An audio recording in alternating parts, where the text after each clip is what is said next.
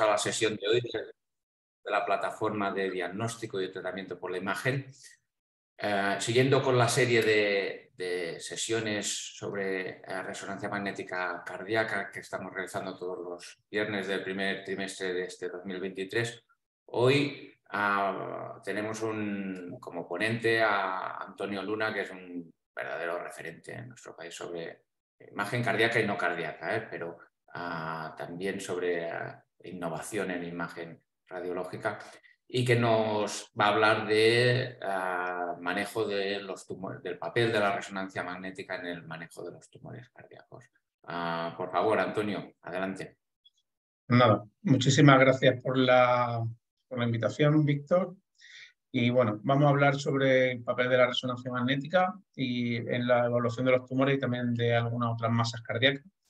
Eh, vamos a ver cuál es el papel de esta técnica, también algunos hallazgos clave en la diferenciación entre lesiones tumorales y no tumorales, eh, sobre todo con énfasis en los signos que sugieren malignidad. Y también vamos a, ver un poco cómo con diferente información clínica de, localización podemos hacer un, diagnóstico diferencial eh, bueno, abordable, por lo menos, si no fácil, de, de las técnicas de los tumores cardíacos. Eh, hay que tener en cuenta que la masa cardíaca más frecuente de largo son los trombos, que los tumores cardíacos primarios tienen una incidencia muy baja, que la masa tumoral más frecuente en el corazón son las metástasis y que la indicación probablemente más frecuente que nos encontramos de resonancia magnética por sospecha de masa cardíaca suelen ser o masas paracardíacas o intracardíacas que no son realmente, sino que son pseudomasa o variante anatómica. El 2021 ha habido una nueva clasificación de los tumores cardíacos, eh, la clasificación WHO. Eh, los tumores benignos se han clasificado como fibroblastoma papilar, mixoma, fibroma, ratomioma, eh, lipoma y hemangioma. Todos estos son los típicos. Se han añadido algunas entidades nuevas, como el ratomioma celular del adulto, que no se asocia a esclerosis múltiple y se diferencia del ratomioma, que es más típico de niños. Ha considerado ya la hipertrofia lipomatosa del sector interauricular como una entidad tumoral, no como una que antes, hasta, hasta eh, las clasificaciones previas, no se considera como una entidad tumoral. Eh, luego también tenemos nuevas entidades como varios tipos de amartoma muy infrecuentes y el tumor quístico del nodo auroventricular, que este sí que estaba definido previamente, pero que también es muy infrecuente. Y luego los tumores malignos, se ha reducido a tres los tipos de sarcoma, angiosarcoma, leiomiosarcoma y sarcoma pleomórfico, y el resto de sarcoma se han agrupado por su muy, muy baja eh, frecuencia en, una única, en un cajón desastre que se llama otro sarcoma cardíaco. Luego también las metástasis y los tumores hematolinfoideos, principalmente el linfoma difuso de células grandes B, y luego también una entidad nueva, recién que se ha definido ahora, que se llama linfoma difuso de células grandes B, asociado a, a fibrina. Eh, cuando vemos una aproximación más práctica de las masas cardíacas, las podemos definir en tumores cardíacos masas no tumorales y pseudomasa. Y esto es un poco la clasificación que vamos a seguir eh, en el resto de la, de la, charla. Evaluando el papel de las técnicas de imagen, eh, la ecografía, la ecocardiografía suele ser la técnica de inicio y es una técnica excelente para la valoración de las lesiones intra, intracardíacas, pero sigue teniendo limitaciones por la ventana acústica, la reproducibilidad y la afectación extracardiaca. Con la imagen de muy alta resolución y el uso de la ecocardiografía transtorácica, podemos, la evaluación de las lesiones valvulares es realmente ahora mismo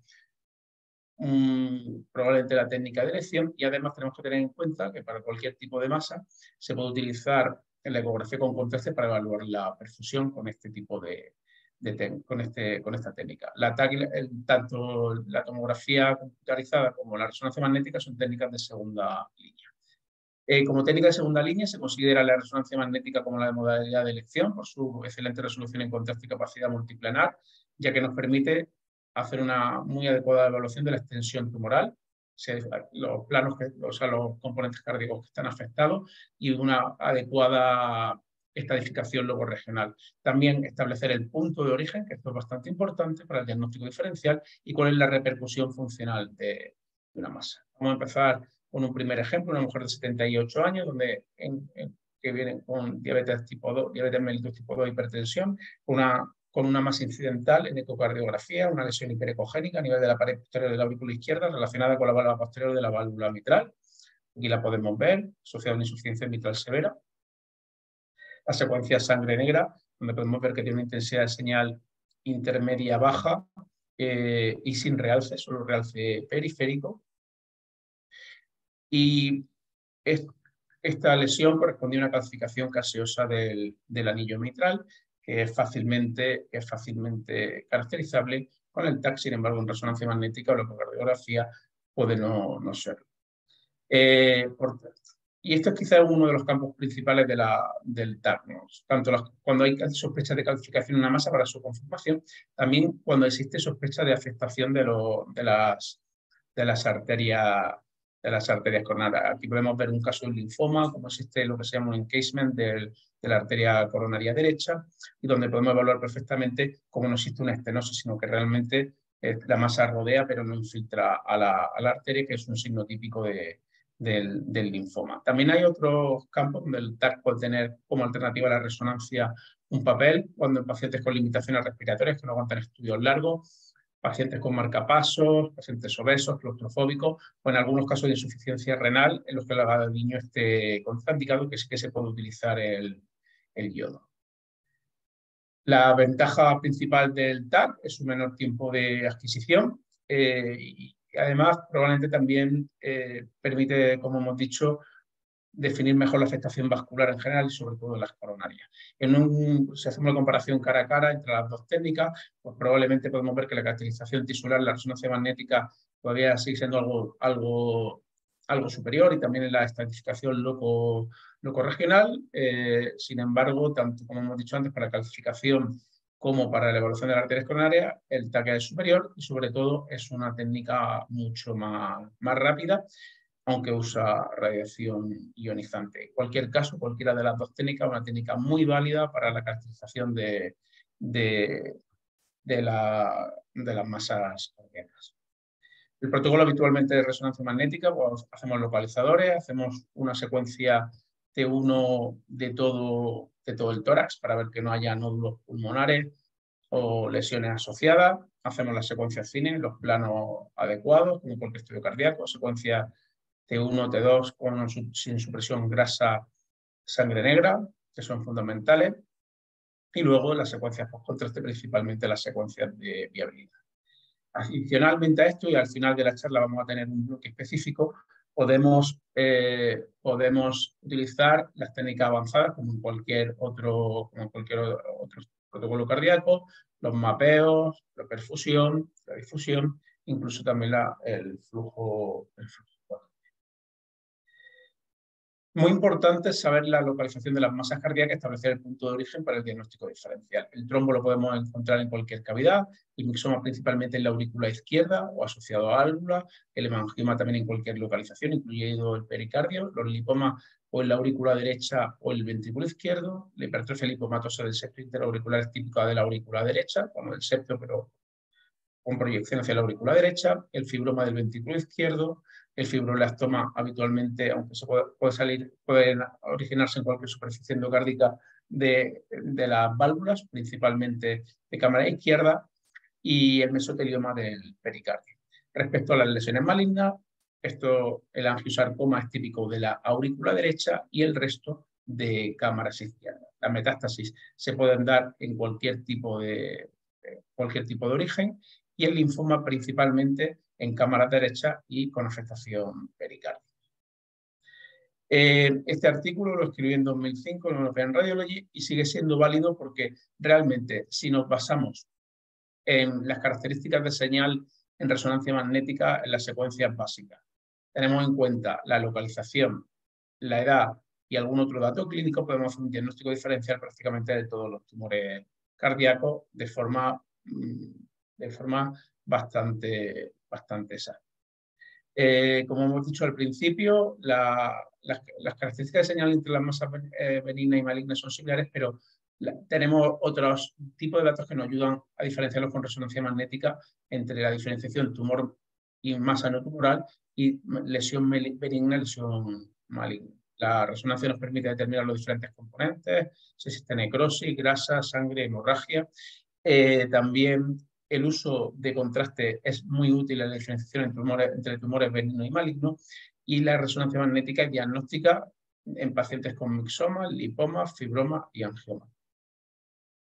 Este es otro caso, por ejemplo, una lesión móvil, hipointensa, irregular, anexa a la válvula mitral que protuye, que protuye en ventrículo izquierdo.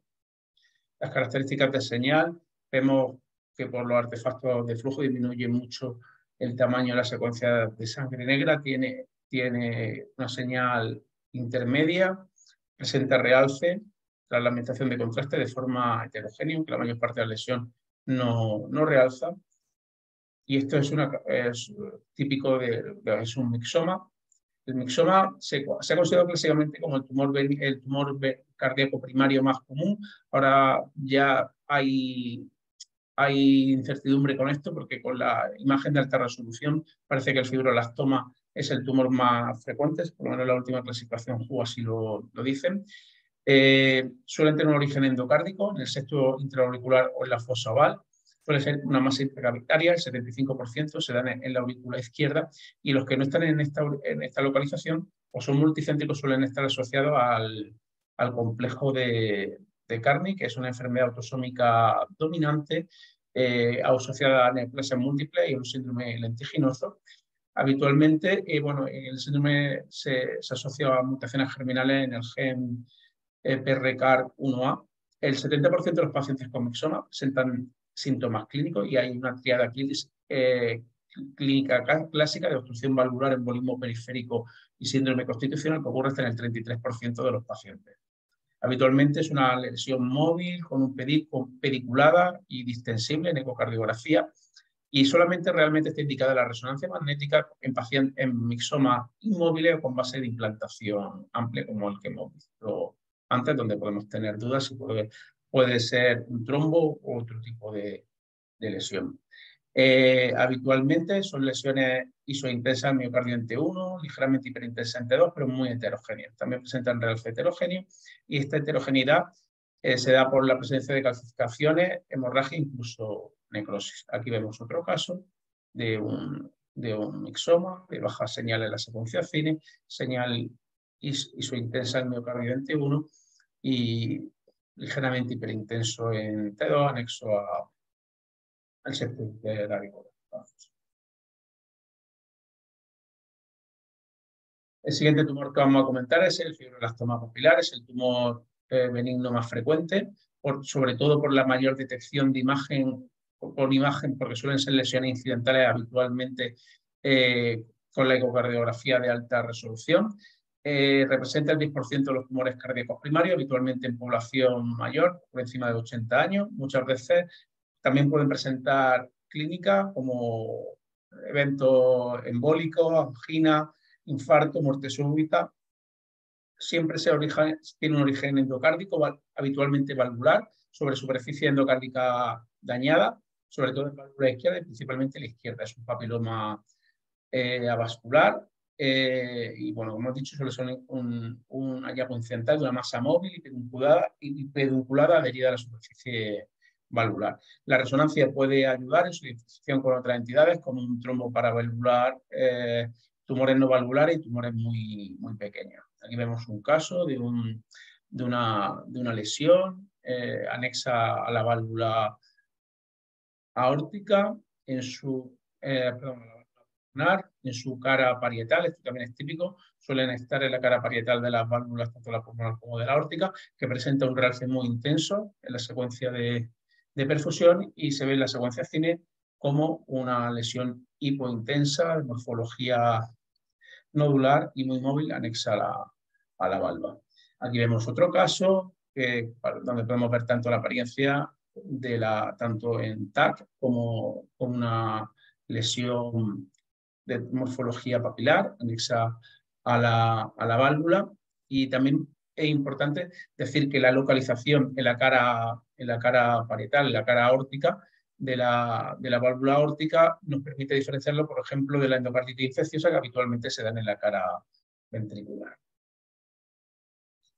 Aquí vemos un caso de una vegetación asociada a endocarditis donde podemos ver la lesión de muy, de muy pequeño, de muy pequeño eh, tamaño en dos pacientes, uno a la izquierda en una válvula órtica, a la, a la derecha en una válvula en una válvula mitral, que también aparece como una lesión nodular, un poquito más filiforme.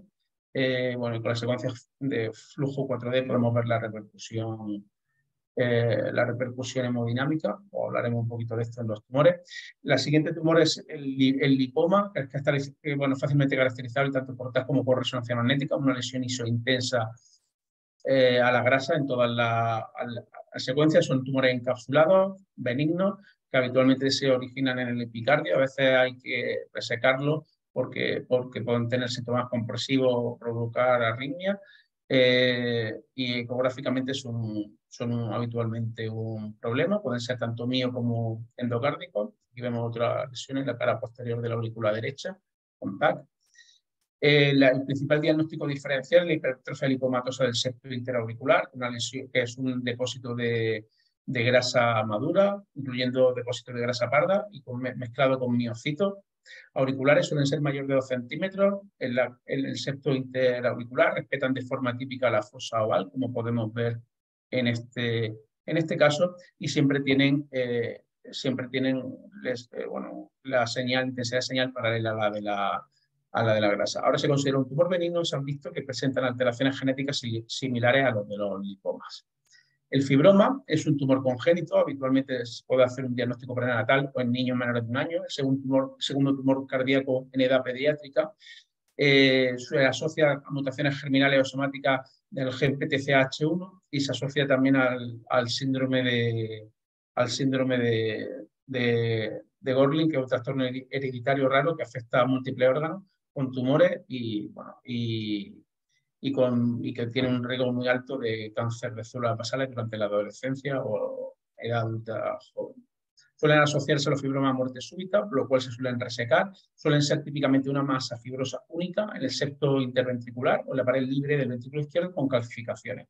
Su señal es como de tejido fibroso y su intensa al miocardio y intensa tanto en T1 como en T2 y con un realce variable. Aquí vemos un fibroma típico con una masa en el septo interventricular con, con un señal intensa miocardio de secuencia cine. Este es otro, otro fibroma. Este es de una localización atípica en el apex del ventrículo derecho, donde podemos ver que tiene hipointensidad de señal en todas las secuencias y que tiene un realce leve y heterogéneo de la, de la, del, del interior del, el hemangioma es un tumor bastante infrecuente, representa hasta el 10% de los tumores cardíacos primarios. Se clasifican en capilar venoso, cavernoso o arteriovenoso según el tamaño de sus canales vasculares, como en el resto del organismo. Suelen ser una hallazgo incidental, se suele presentar en la quinta década, aunque a veces también puede tener por síntomas compresivos eh, disnea, disnea, síncope o angina. Se puede dar en cualquier localización cardíaca, incluyendo el pericardio, que es más frecuente a nivel ventricular y pueden presentar también, como en, otro, eh, como en otros casos, calcificación y. Este es un caso que fue un hallazgo occidental durante una, resonancia magnética de abdomen, donde la, en el APES cardíaco podemos ver una lesión eh, hiperintensa en T2 y que presenta realce en fase, en fase arterial. Otro tumor que hay siempre que considerar es el, el radiomioma, es la neoplasia cardíaca pediátrica más frecuente, se asocia a esclerosis tuberosa hasta en el 90% de los casos, suele ser un tumor intramiocárdico ventricular eh, múltiple, se puede hacer diagnóstico ecográfico también prenatal, como hemos visto los febromas, y este tumor suele regresar espontáneamente. Incluso ahora mismo, si se aplican inhibidores de la vía mTOR, eh, se ha visto que se puede acelerar la regresión de estos tumores, por lo cual muchas veces se espera cuando se descubren a nivel prenatal o, en, tras el nacimiento, se puede esperar a ver cómo, cuál es su evolución. Ah, si no regresan, eh, se necesita resecarlo porque pueden dar arritmia obstrucción del tracto de salida del ventrículo izquierdo. Suele aparecer como un engrosamiento focal miocárdico, sin o con alteración del contorno del miocardio. Y luego hay una forma que se llama radiomiomatosis, donde hay múltiples tumores menores de un milímetro que se manifiestan como un engrosamiento miocárdico difuso esto es una radiomiomatosis donde podemos ver eh, varios radiomiomas engrosando el septo y la pared ventricular de forma difusa y es difícil, eh, es difícil identificar una lesión como, como tal independiente. El radiomioma ahora se ha identificado eh, una nueva entidad que se llama radiomioma celular del adulto, que se suele dar en adultos mayores de 20 años y que no se asocia a esclerosis múltiple tuberosa. Aquí vemos otro caso de un pequeño radiomioma en la pared ventricular asociado a esclerosis, asociado a esclerosis tuberosa, pero que es una entidad el radiomioma clásico una entidad diferente del, del radiomioma celular del adulto que ha sido recientemente descrito. Otro tumor muy infrecuente es el paraganglioma, suele aparecer, en la aurícula izquierda, un tumor neuroendocrino que, es positivo en la gamografía MIC, como podemos ver aquí, o con PET, y se, habitualmente se, se recomienda su resección quirúrgica para, para evitar los picos de catecolamina. Otra masa que podemos ver de forma infrecuente es el histidatídico, que se suele ver más en el ventrículo izquierdo, que se puede dar en cualquier localización. Puede ser por afectación cardíaca secundaria, invasión miocárdica, a través de la circulación coronaria o por la rotura de un pulmonar en, las venas pulmonares. Y en la, bueno, podemos ver que la apariencia es similar a la de cualquier otra organización, una lesión quística heterogénea y se parece a, cualquier otro tipo, cualquier quístico en otras localizaciones. Otras lesiones quísticas, bueno, el tumor quístico del nódulo, del nódulo ventricular, una lesión benigna congénita que se describió hace, hace ya algún tiempo. Es un tumor quístico muy frecuente, no solemos estudiarlo con resonancia magnético contacto, ya que suele ser habitualmente inferior a 5 milímetros. Eh, y, puede, eh, puede provocar muerte súbita ya que se sitúa en la parte más baja del tabique interauricular cerca del nodo auriculoventricular. Que este es un caso antiguo que en su momento se eh, clasificó como un quiste broncogénico, pero que probablemente correspondiera a un quiste del nódulo auriculoventricular de, de gran tamaño, porque esto fue hace 15 años este caso, probablemente no estaba, en ese momento no estaba identificada esta entidad. Luego también que muy frecuentemente nos piden resonancia magnética o TAC para evaluación de lesiones paracardíacas, como quistes pericárdico broncogénico, que tiene localización paracardíaca, como podemos ver en, aquí en este caso, una, masa paracardíaca.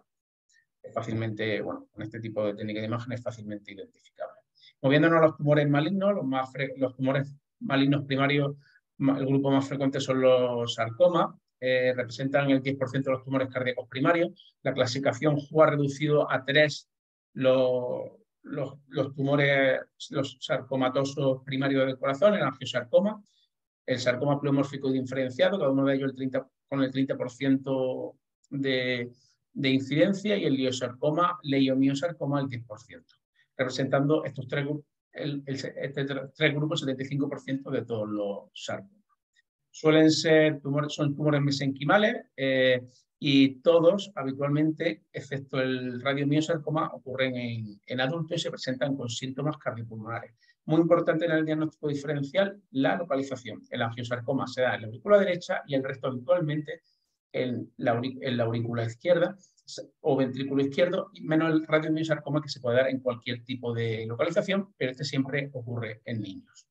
El angiosarcoma, el sarcoma primario más eh, cardíaco, más, más, frecuente, el que tiene peor pronóstico, es típica solo localización en la aurícula derecha, con extensión pericárdica. Se da en varones, principalmente, entre 30 y 50 años, y la presentación es inespecífica, con síntomas cardiopulmonares y puede tener hemorragia masiva provocando un taponamiento cardíaco y muerte súbita.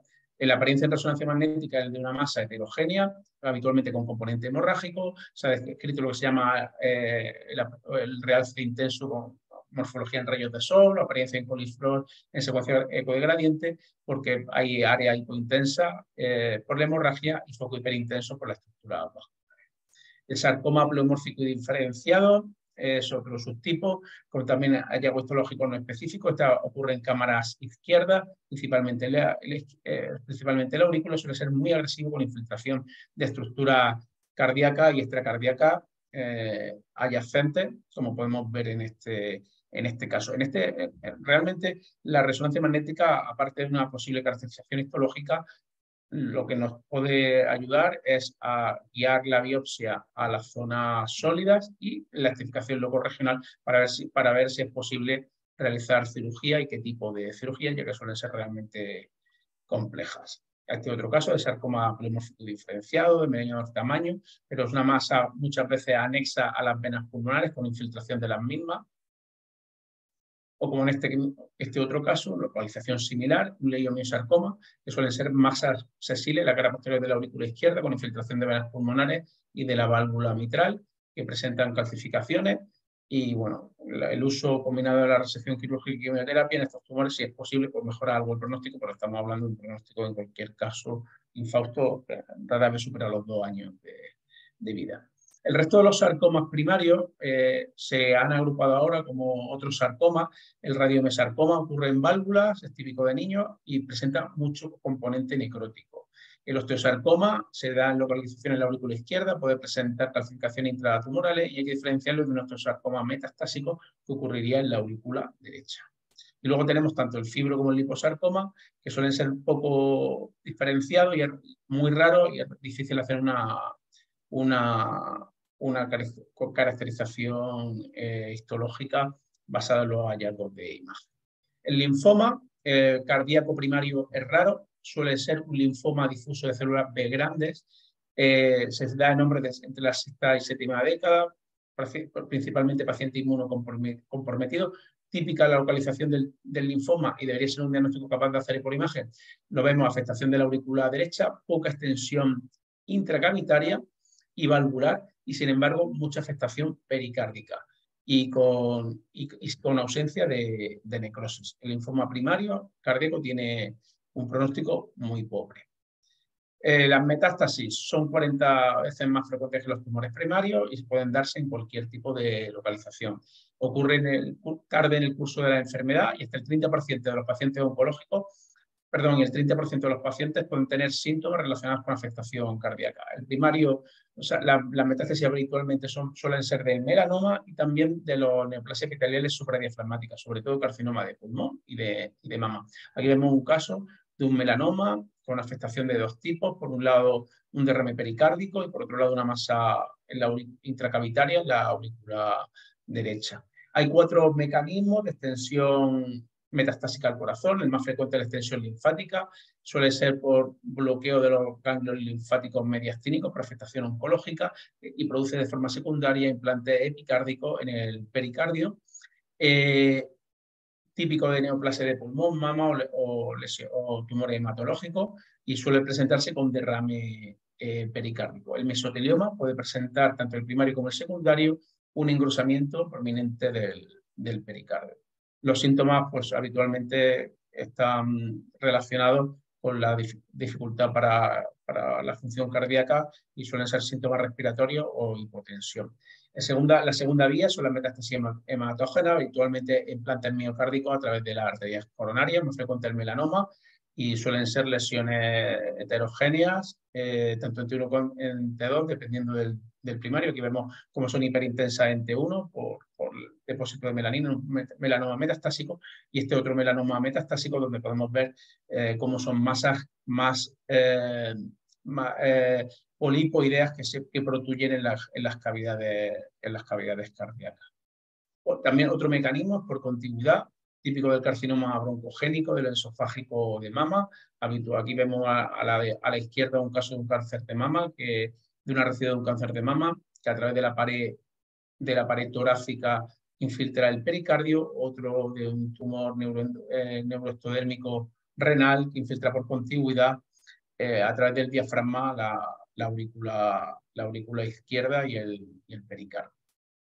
Otra extensión tumoral posible es la extensión transvenosa, es la extensión de un trombo tumoral a través de las venas pulmonares de la cava. Vemos un caso de un colangiocarcinoma que infiltra la cava y aparece como una masa eh, intracavitaria en la aurícula derecha.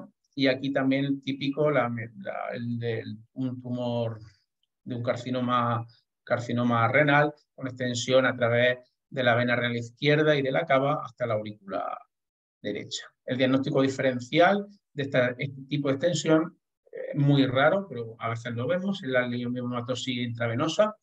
la extensión de un leiomioma a través de la, de la cava a la aurícula, a la aurícula derecha, pues, que puede ser mm, uterino o primario de la, de la, vena, de la vena cava. También recordar que eh, podemos tener afectación secundaria cardíaca con síndromes paraneoplásicos, típicamente el carcinoma, el, perdón, el carcinoide metastásico, que puede dar insuficiencia mitral, como podemos ver en este caso, un carcinoide con metástasis hepática, insuficiencia mitral. El trombo es la masa cardíaca más frecuente, eh, sobre todo en la aurícula derecha, aunque podemos verla en cualquier localización. Se asocian a fibrilación auricular, miocardiopatía dilatada, enfermedad valvular mitral, infarto de miocardio. La ecocardiografía es la modalidad de elección, pero tiene una alta, una alta tasa de falsos negativos. Eh, el TAC ha demostrado su capacidad en la caracterización de los trombos cuando hay una ecografía transtorácica no concluyente y la resonancia es superior a la detección de trombo de muy pequeño tamaño, nos permite su caracterización temporal, el trombo muy hiperintenso, que iba perdiendo intensidad de señal hasta que se hace organizado, y podemos caracterizarlo muy bien por su homogeneidad en comparación con las masas tumorales. Eh, sobre todo comparado con los misomas y las lesiones malignas. El trombo además no realza y esto es una característica que nos permite diferenciarlo muy bien de los tumores que habitualmente realzan. También aquí vemos una lesión en el ápex, que, hipovascular, hipointensa en la secuencia cine, habitualmente inmóvil. También podemos mejorar la detección con el uso de, la secuencia de realce tardío con un tiempo de inversión entre 450 y 600 milisegundos y siempre tener en cuenta que aparecen con baja intensidad de señal de la secuencia cine y, que, y con baja movilidad. También las secuencias más avanzadas nos permiten la, diferenciación, la caracterización del trombo el realce tardío mejora la fiabilidad diagnóstica hasta en un 87% de su diferenciación con tumor eh, e incrementa la detección en comparación con la eco o la ecografía transtorácica. Las secuencias los Looker nos permiten también una caracterización de los, de los, de los trombos, ya que eh, presentan un patrón eh, hiper o intenso al miocardio con tiempo de inversión corto, hipointensidad con tiempo de inversión largo, también la relacionometría cuantitativa T1, ya que el valor nativo de los trombos es muy similar al del, al del miocardio y los trombos jóvenes tienen un valor T1 más corto que el de los antiguos y la, la relacionometría cuantitativa T2 nos permite diferenciarlos ya que los trombos presentan un valor significativamente más largo que el del miocardio y las masas cardíacas habitualmente eh, eh, todavía más largos que los de los trombos hay que tener en cuenta que uno de, las, de, los motivos por los que más nos piden eh, resonancia magnética son pseudolesiones, principalmente restos biológicos con diferentes grados de regresión en la pared posterior de la aurícula derecha, la crista terminalis, la válvula de Eustaquio, como podemos, o la red venosa de Chiari, que vemos un ejemplo,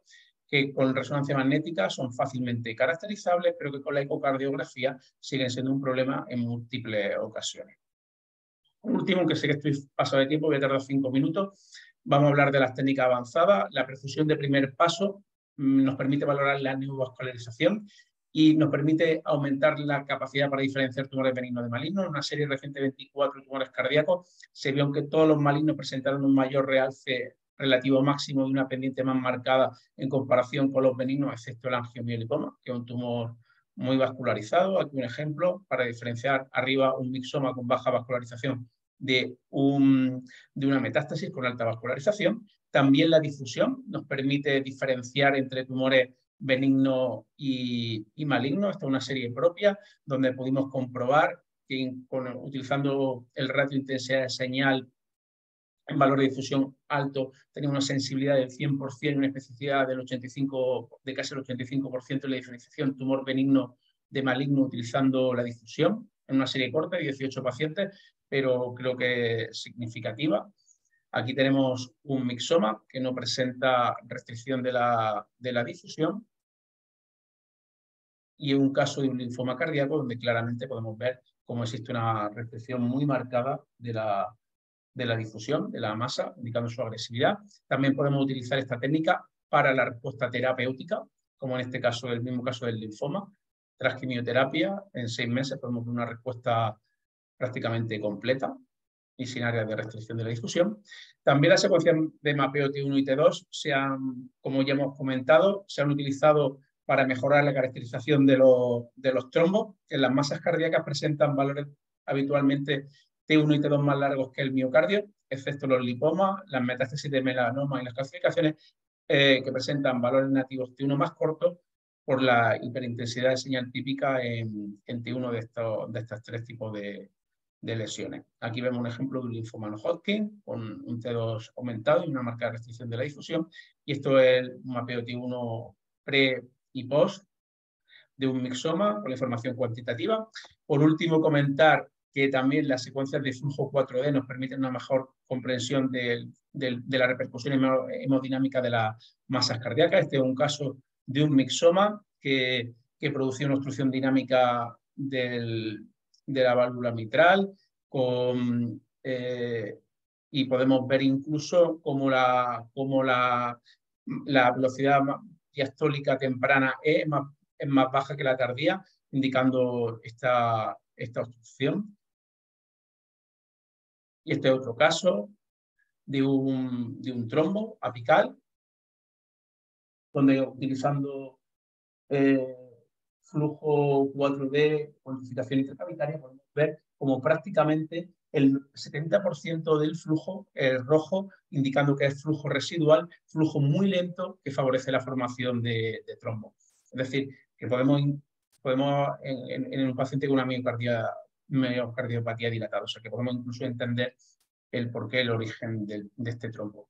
Por último, la, eh, en la entrevista pre, sesión hablamos del PET. El PET se ha visto que es excelente, con una sensibilidad del 100% y especificidad del 86% en la diferenciación entre masa benigna y maligna. Permite también este, estadificarla. Incluso ha visto que existe una correlación entre los valores de con, con, la supervivencia, con el pronóstico del, del paciente y una alternativa válida en la diferenciación benigna-maligna y sobre todo la estadificación de tumores malignos, sobre todo a distancia. Por último, utilizamos en algunos casos la impresión 3D para la estadificación prequirúrgica de estos tumores, este es un caso de un, de un mixoma. Y bueno, como conclusiones, que la masa cardíaca sigue siendo un problema, son frecuentes, cada vez que un radiólogo se enfrenta a ella eh, realmente nos genera, nos genera estrés Existen indicaciones crecientes para la utilización de las técnicas avanzadas en los casos donde la ecocardiografía no es definitiva, sobre todo para la extensión tumoral en caso de malignidad. Tanto, tanto el TAC como la resonancia nos permiten analizar las características estructurales y la repercusión funcional de los tumores en un mismo estudio y que combinando datos clínicos, localización y características de imagen podemos hacer una caracterización aceptable. Y la resonancia nos permite diferenciar bien trombos, pseudomasa y tumores, nos permite dar un diagnóstico específico de mixoma, fibroma, lipoma y hemangioma. Excelente la diferenciación tumor benigno y maligno, también en la, en la estadificación y las nuevas secuencias, sobre todo la difusión y la perfusión, nos ayudan mucho en la diferenciación tumor benigno de tumor maligno. Muchísimas gracias. Ah, muchas gracias a ti, Antonio, por esta excelente revisión exhaustiva de todos los tipos de tumores cardíacos, la diferencia y las características ¿no? que tenemos que fijarnos para hacer el diagnóstico diferencial. Realmente un repaso muy, muy útil. Y ahora a ver si eh, salen preguntas en el chat. Hay una felicitación de Carlos Alexander Dupech que uh, te felicita con un repaso de la patología tumoral y pseudotumoral cardíaca muy buena, con muy buena iconografía y sobre las secuencias útiles eh, para el estudio de, estas lesiones. Felicitaciones. No hay ninguna pregunta de momento. Yo sí que, para un poco romper el hielo y que la gente se anime a hacer preguntas, sí que me gustaría preguntarte, en, el abordaje de, las lesiones tumorales ya has enseñado, ¿no? Clásicamente el T1 y T2, las secuencias turospineco juegan un peso importante, ¿no? Pero ahí se han quedado, no han evolucionado mucho, son secuencias lentas, muy difíciles para caracterizar lesiones pequeñas. Y no sé si crees que es el momento de que sustituirlas con las de T1 mapping o no, T2 mapping, todavía no tienen resolución, si saldrá finger, el fingerprinting, ¿no? Si esto va a ser útil, ¿cómo lo ves esto? Para... A, ver, a ver, el problema del T1 mapping y T2 mapping es que el T1 mapping parece que puede tener más, o sea, más sentido que el T2 mapping, pero hay muy pocos datos, realmente muy pocos datos, donde más por, la frecuencia es con el trombo, y sí que se ha visto que tiene un, o sea, que ayuda a, a caracterizarlo.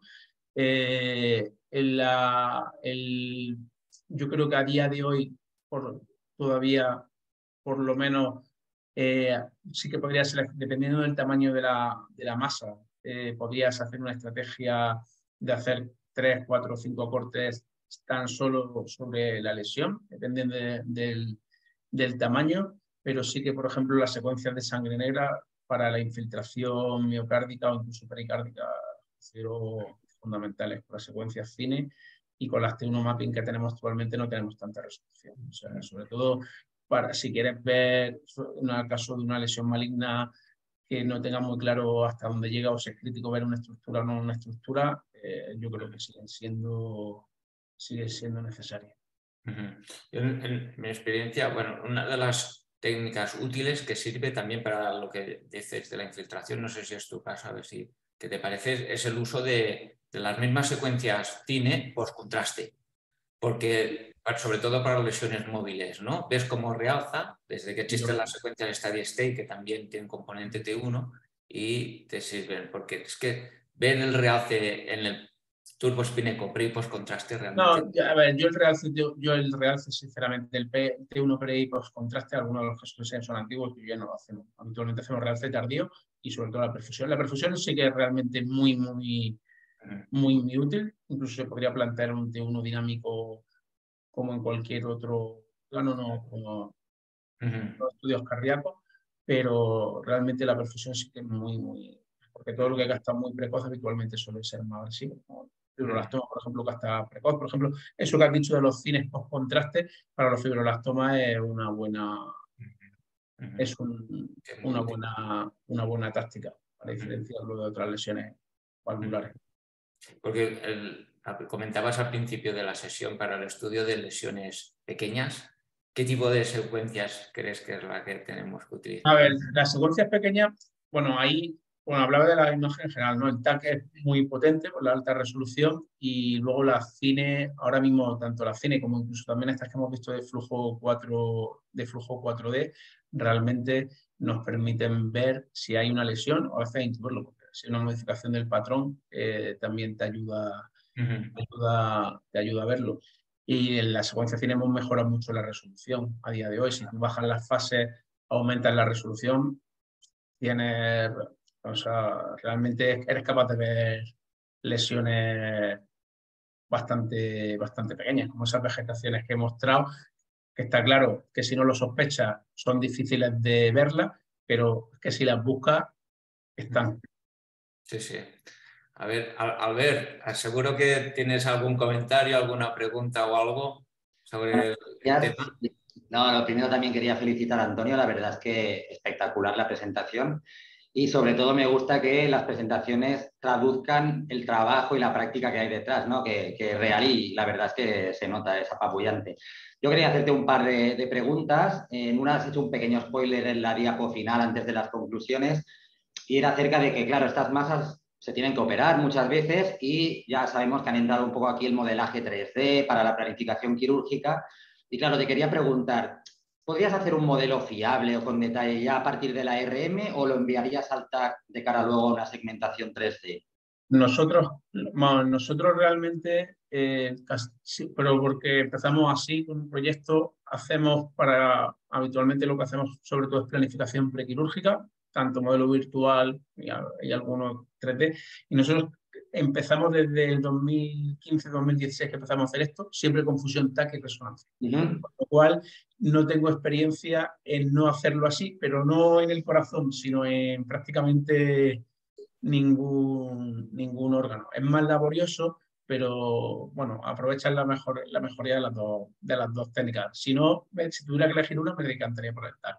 El problema del TAC es que muchas veces la diferenciación tisular no es fácil para la segmentación. Dependiendo de qué tipo de masa, te puede costar mucho la segmentación. Puede ser muy, muy, muy manual.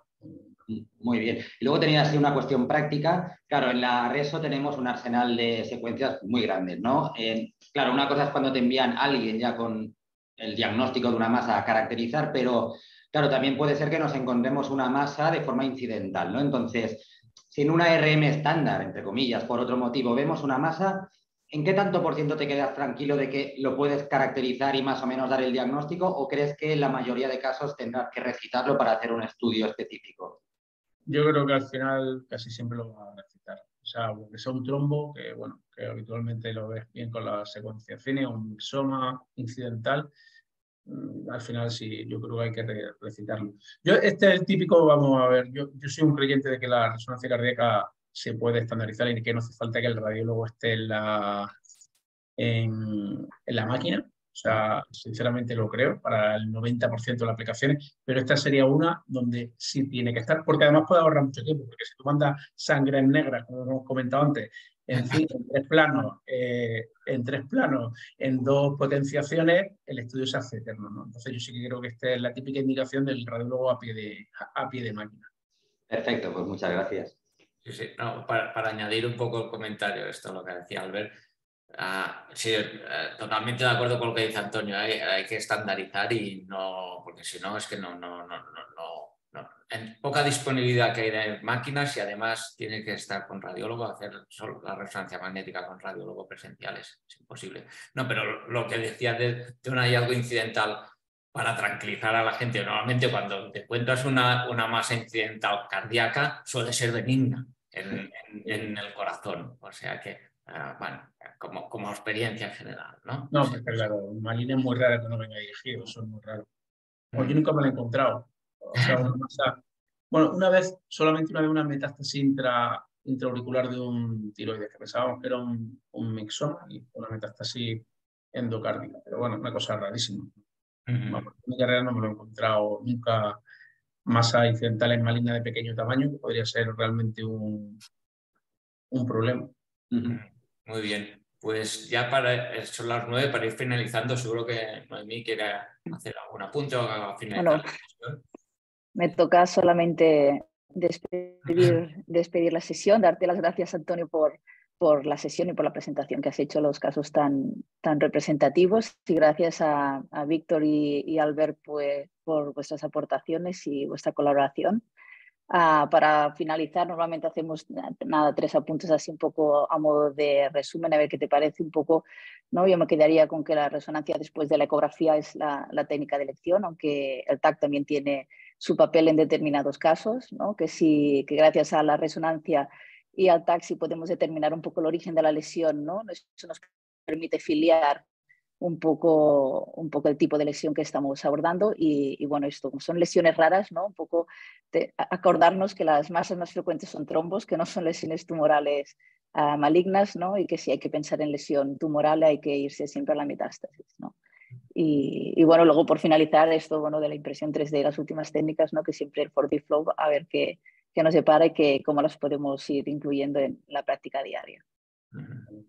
Si os parece, si os parece, lo dejamos aquí y nos vemos la, semana que viene, el lunes y el viernes, con, otra sesión de, del curso de RM cardíaca. Muy bien. Gracias a todos. Buen fin de, buen fin de semana. Hasta luego. Hasta luego.